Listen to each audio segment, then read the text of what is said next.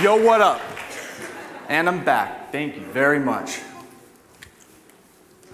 For those of you who are unsure about the object currently shown behind me, you are all staring down the barrel of a fully loaded revolver. Much like my friends and I were this past June. See, it was at this point that all hopes to start the summer with a bang completely diminished. That was not the type of bang that we wanted to start nor end our summer with. Now, as bad as I wish I could come up here and tell you that the reason the man holding this weapon did not shoot us was because we had a civil conversation with him, we talked to him in a civil manner, and he simply just put his gun away. I also wish I could tell you that the reason we got into this mess in the first place was due to the sheer insanity that this man possessed, and that my friends and I did not provoke him whatsoever. But as you can imagine, that's not what happened. So, what essentially happened was this. So, I live in Portland, Oregon, born and raised. Out on my basketball court is where I spend most of my days. when one particular night, a man who was seemingly up to no good started making trouble in my neighborhood.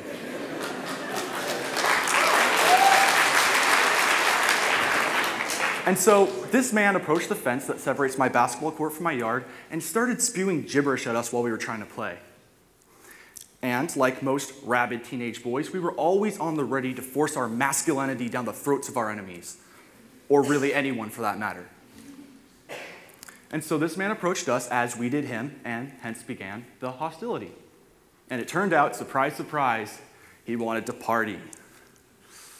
Well, we essentially told him that we're not interested and we're also underage and that he should get lost, yet he stayed very persistent.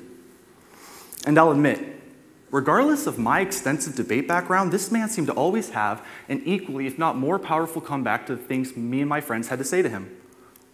Kind of like when we said, well, dude, we don't really trust you. And so he assured us that he had only done cocaine and shrooms together three times. very impressive, very reassuring.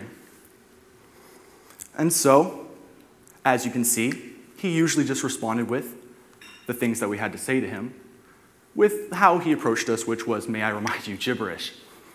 And so, getting fed up with each other, we began to argue. And this argument quickly escalated to the point where he reached into his backpack and pulled out the revolver that you've all become so acquainted with the past couple of minutes. And let me tell you, there's something very sobering about having a loaded weapon pointed at your face.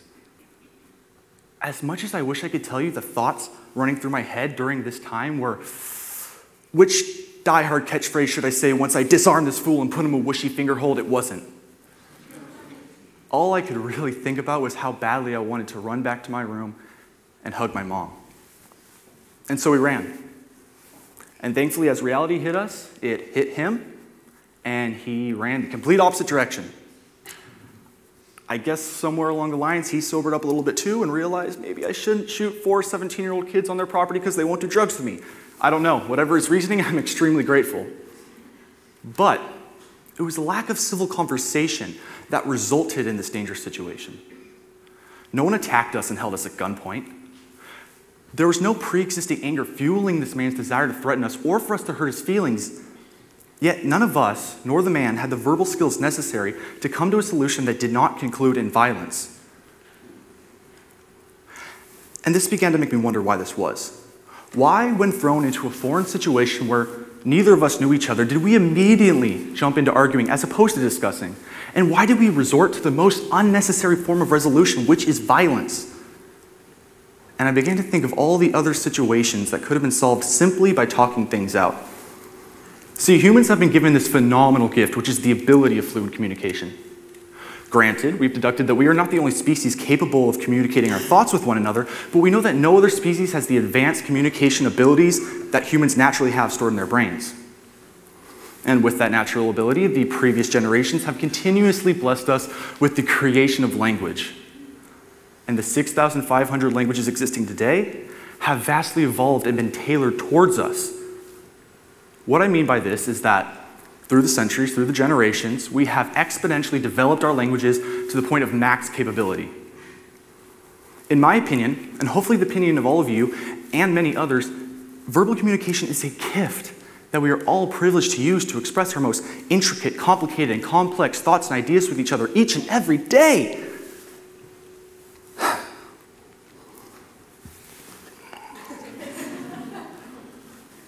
So, what is this? What is this? Please tell me that man injected me with some of his loopy syndrome because I feel like I'm having a bad trip with all these creepy Simpson looking. Oh! Faces staring down at me. I mean, really, people, are we going backwards? Because correct me if I'm wrong, but don't these look a whole lot like this? Ah, yes. These are hieroglyphics. And for those of you that don't know what they are, it's what the Egyptians used to communicate. Over 4,000 years ago. See, now, of course, when I say this, I'm not saying that emojis are bad or that they are the sole reason that our generation largely refuses face to face communication with each other. Not at all. Nor am I saying that I don't use them. Heck yeah, I do. I love them. but when we are using emojis to express over 30 to 40% of our thoughts and feelings with each other each and every day, Come on. Our leaders, for instance, used to always address us as if we were intelligent, you know, like this the Gettysburg way. And now we're supposed to merely be satisfied with something like this?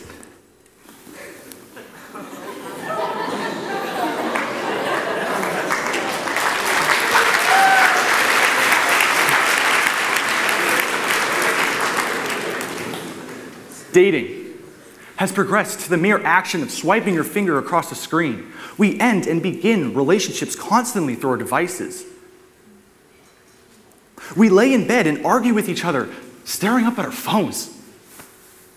At some point, we need to think did we bring this upon ourselves? Now, all of us realize that when it comes to our future, whether it be long term employment or relationships, that communication is key. And not unlike what our teachers tell us, we know that we cannot Snapchat our way into a career. But what I fear most of us don't realize is that verbal communication is not just the ability to speak intelligently. What many don't understand is it's a skill like any other that must be practiced.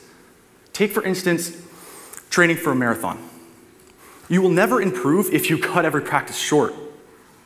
The equivalency to this in communication is the act of DMing or texting, Snapchat, whatever have you. See, well, the previous generations have had their entire lives to practice and perfect the skill of verbal communication. We have become largely reliant on communicating through our phones and technology. Now, this would not have to be a bad thing if the trade off wasn't our ability to communicate with each other thoughtfully and clearly, but it is. Take, for instance, I don't know, you are going on a date with the person of your dreams, or you're on the job interview for the job of a lifetime. You've always wanted it.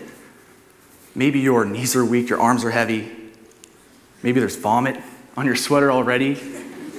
And you begin to realize they're not going to ask me for my max snap, streak score, or for me to define myself in 140 characters or less.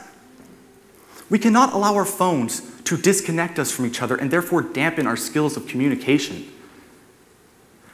And I'll admit, I'm a huge hypocrite. Most of you know that I am a huge hypocrite. Me standing up here and talking to you about this is me being a huge hypocrite. And I'll even go as far as to say that my phone has blocked me from more physical conversations than many of you in this room. But I'm working on it. Each and every day, I'm working on it. I've been working on it for years. And me standing up here and talking to you about this is me working on it. And yet, heck, I have my phone right here in my pocket. Right here. Mmm. You gotta hate how with the new phones you just you look at it and it just turns on. Especially when you have so many notifications, you know? Yeah. My buddy Joe, my best friend from back home, he's live streaming this right now. He Snapchat me. For those of you who know me, you know I'm not one to leave people on read. So if you don't mind, really quick, as Mr. McPherson did. I just want to.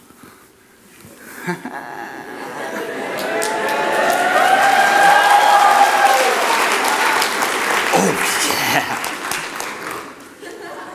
I love that. Pardon me one second.